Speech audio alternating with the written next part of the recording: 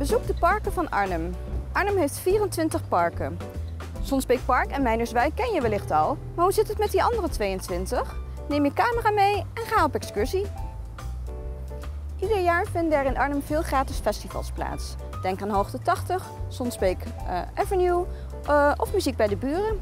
Bij Muziek bij de Buren stellen 100 huiskamers zich open voor muzikanten uit Arnhem. Zo kan je bij mensen binnenkijken en van allerlei soorten muziek genieten. De uitjes tot 100 van onze website. In deze lijst vind je nog veel meer leuke gratis uitjes. Normaal is deze lijst beschikbaar voor 10 euro, maar voor de kijkers van RTV is deze nu gratis te downloaden. Gebruik de code gratis uitjes. Jaarlijks vinden er met Pinksteren de kadedagen plaats. Aan de Rijnkade vind je dan veel oude schepen, een leuke markt en je kan een visje kopen. Je kan ook even naar Mijnderswijk met het pontje. Dat kost maar 1 euro.